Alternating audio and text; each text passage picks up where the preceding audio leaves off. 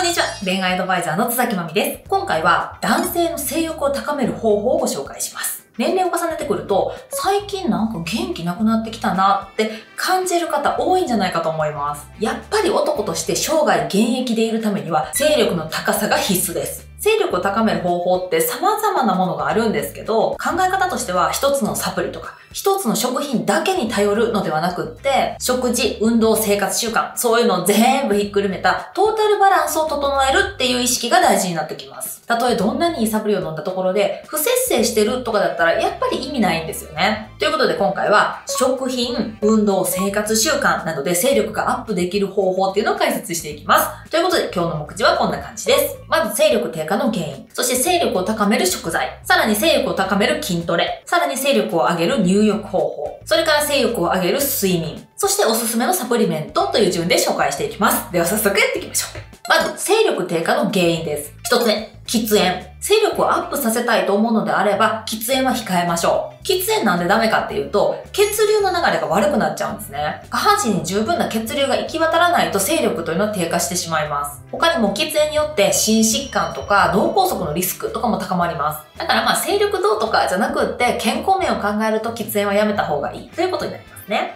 さらにですね、ちょっと悲しいことに、喫煙によって物が小さくなってしまうということも研究によって分かっています。なので、喫煙はね、なるべく控える、あるいはやめるという方法がおすすめです。二つ目、ストレス。これも多いですね。仕事の多忙さとか、人間関係とか、不安とか悩みによって、心身のバランスに支障をきたして性欲が低下するっていう方もすっごい多いです。特に日本人はね、すごく多いというふうに言われています。三つ目、カロリーが高い食事。実は肥満になるにつれて ED のリスクが高まるということが分かっています。肥満以外にも高血圧症とか動脈硬化、さらに糖尿病ですね。そういった病気も ED のリスクを高めるので注意が必要です。で、カロリーってね、どれぐらいに抑えればいいのかっていう話なんですけど、活動量が少ない成人男性、まあ、デスクワークが多い方とかですね、そういう方は、1日の摂取カロリーが2200プラスマイナス200キロカロリーを前後するという感じが目安になってきます。おすすめのカロリー計算アプリがあるので、こちら紹介しておきますね。気になる方は使ってみてください。検索で食事を入れるとカロリーが自動的に出てくるようになってるので、しかも無料で使えるんですよ。なのでおすすめです。4つ目。塩分が高い食事。まあ、ラーメンとか、レトルト食品とかですね。塩分過多は高血圧症を引き起こすというふうに言われています。で、高血圧症の人は ED を合併するっていう頻度がとても高いというふうに言われてます。基本的に味の濃い食事って塩分が高いというふうにされているので、まあ、基本的に薄味を好まれるようにされるといいですね。ちなみに、1日の塩分摂取量どれぐらいかっていうと、男性の平均だと 7.5g 未満というふうにされています。7.5g って大体お店で食べる豚骨ラーメン1杯分ぐらいです。じゃあ塩分の低い食事って何かっていうと、コンビニで言うとザルそばとかですね。とコンビニのおにぎりめっちゃ美味しいんですけど、かなり塩分が高いんですね。なのでパックのご飯がおすすめです。あとマヨネーズを使用したものってカロリー自体はまあ高いんですけど、でも塩分量自体は少ないんですね。なので、ごぼうサラダとか、卵サラダとか、ポテトサラダなんかもおすすめです。まあとはいえね、ラーメンとかうどん食べたくなる日ってあると思うんですよ。まあその場合は麺は食べて、お汁はあんまり飲まないようにするといいですね。5つ目、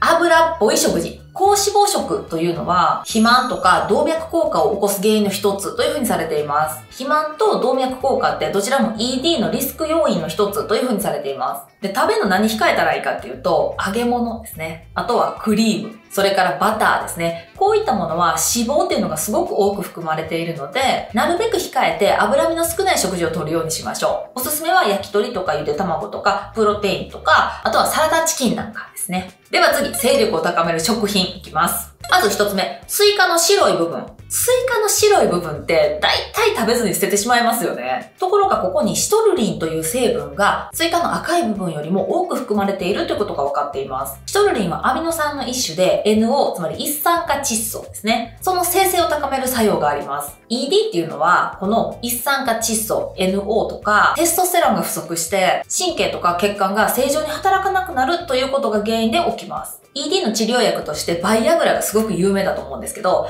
あれどういう作用かっていうと、不足している NO の生成を促進させることで、男性機能の回復を図るという仕組みになっています。さらに NO を取ることで血行が促進されるので、美肌効果というのも期待できます。なかなかスイカの白い部分をそのまま食べるって難しいので、例えばシロップ漬けにするとか、サラダに入れるとか、お漬物にするとかね、そういう活用方法がおすすめです。他にも NO が多く含まれる食品としては、メロンとか、キュウリとか、ウリとか、カボチャとかもおすすめです。二つ目、大豆。大豆にはアルギニンという性機能の改善や男らしさの増強に効果があるという成分が含まれています。普段の食事の中で積極的に大豆を摂ることによってアルギニンを摂取するようにしていきましょう。まあ豆なので納豆とか豆乳とか豆腐とか、あとは豆の煮付けなんかもおすすめです。他にアルギニンを多く含む食材としてはアーモンとかマグロとかうなぎなんかも OK です。3つ目、柿。柿に多く含まれる亜鉛には、精子の生成を促進させる効果とか、勢力アップ、さらに薄毛の改善にも期待できる効果があります。柿の美味しい食べ方って色々あると思うんですけど、おすすめはレモンを絞って食べることです。レモンのビタミン C と一緒に摂ることによって、亜鉛の吸収率をアップさせるっていう効果があります。他の食材としては、スルメとか、ビーフジャーキーとか、あとはチーズなんかにも多く含まれています。4つ目、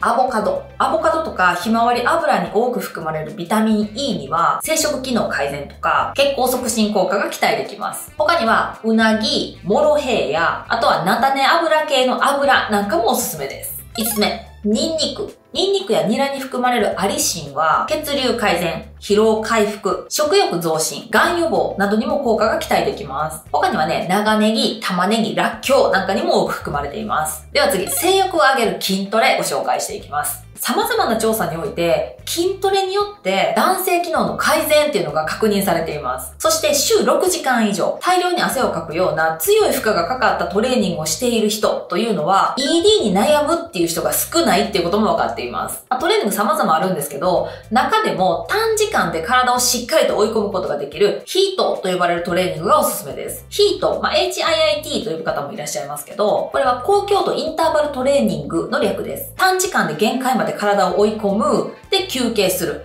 また追い込む、休憩するっていうのを繰り返すトレーニングになります。ヒートの基本的なやり方というのは、20秒間むちゃくちゃ動いて、で、10秒休んで、また20秒間むちゃくちゃ動いて、10秒休んで、という感じになります。しんどいけど一番効くのは、私はバーピージャンプだと思います。バーピージャンプというのは、ジャンプと腕立て伏せを組み合わせたようなトレーニング方法です。あとね、高速でももを上げるというのもすっごいしんどいけどおすすめです。これは、両腕をしっかり振りながら、左右交互に膝をね、もも上げのヨーヨーで上げるというやつですね。もしご興味ある方はヒートで検索するとたくさん YouTube にも動画アップされているので、それを参考にしてやってみてください。いずれにせよ、勢力をアップさせるためには、トレーニングの負荷を上げるっていうことをとにかく意識していただきたいと思います。では次、性欲を上げる入浴ご紹介します。これシンプルに湯船にちゃんと浸かりましょうっていう話ですね。湯船にしっかり浸かって血行を良くすることによって、結果として勃起力の向上っていうのが期待できます。ただしですね、念頭に長時間使っているると、反対に精子の質とか量っていうのが低下してしまうということも分かっています。なので、過剰なサウナ浴とか、30分以上の熱いお風呂に入り続けるとかいうのはやめた方がいいです。では次、勢力を上げる睡眠ご紹介します。勢力をアップさせるためには、良質な睡眠というのも絶対に必須です。日本人の男性のね、ED 率どれぐらいか知ってます？実は3人に1人が ED だというふうに言われています。で、その大きな原因の一つが睡眠不足というふうに言われてるんですね。睡眠時間が少ないと、寝ている間に分泌されるテストステロンの量というのが減ります。だから勃起力が低下してしまうということです。だいたい平均の睡眠時間ってま8時間程度というふうに言われてるんですね。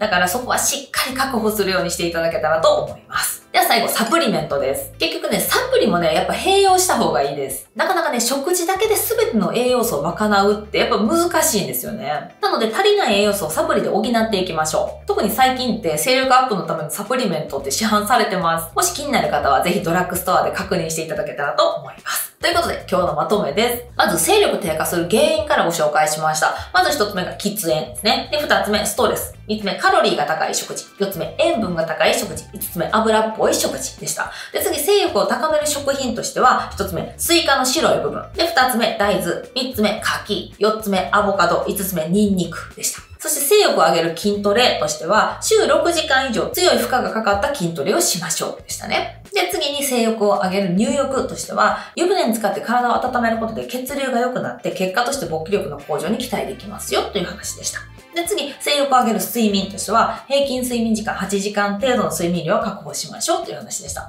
で、最後、サプリメントに関しては、サプリメントやっぱ併用するのがおすすめですよという話でした。ということで、最後までご視聴いただきありがとうございました。今回はね、あの、精力アップで期待ができるものっていうのをご紹介したんですけど、まあ、冒頭でも説明したんですけど、この一つだけやってみようとかですね、これだけやってれば効くとか、まあ、そういうことではなくって、総合的に取り組むという意識が大事ですよ、ということですね。まあ、ただ、あの、いっぺんにいろいろやったら、もう何やってんのかわかんなくなっちゃうみたいなタイプの人だったら、まあ一つずつ、あの、やりやすいところからね、ちょっとずつちょっとずつ取り入れていって、最終的には全部やっているというような状態に持っていくというのもいいかなと思います。で、あと、あの、性欲と精神状態ですね。それってすごく、まあ、密接にね、関係してるんですよね。だから、心身ともに健康な状態を心がけるっていうことが、結果として勢力アップにつながっていくっていうことなので、やっぱこう、すっごいストレス抱えてんなとか、めっちゃ悩んでんなとか、ま、その性欲どころじゃねえっていうぐらい仕事忙しいとかっていう場合は、やっぱこう、まずは生活を整えるっていうところをね、意識されるといいんじゃないかなと思います。ということで、このチャンネルでは、女性からモテる方法や恋愛のコツについて、心理学や実体験をもとに初心者の方にも分かりやすく解説をしておりますので、ぜひチャンネル登録をお願いします。あと、Twitter と TikTok とインスタもやってるのでよろしくね。あ、X だった。X をやってるのでよろしくね。じゃあねー